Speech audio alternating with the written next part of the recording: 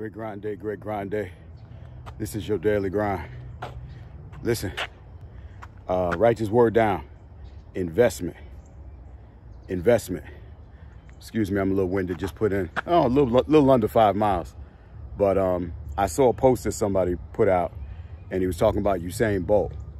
And it said that uh, he had run, he had won some, won some championships, some track championships.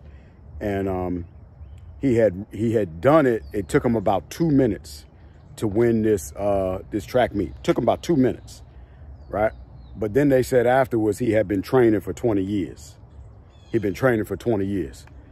The 20 years of training was the investment, and the return on the investment came during those meets, those championship meets.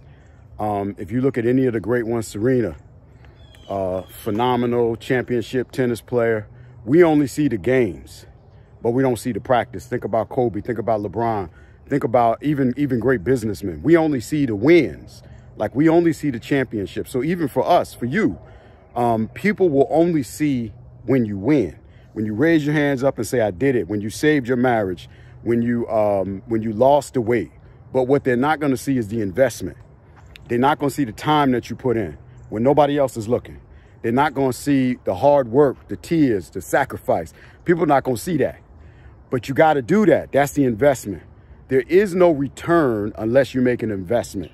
It works like that in life. It works like that in business. So whatever it is that you want, whoever it is that you want to become, make sure that you make the investment. The time investment, the energy investment, the financial investment. And then just keep investing, keep working, and wait for the return because you will get a return. But you, it's not up to you to say when the return is going to come. Y'all have a great grind day. We'll talk soon.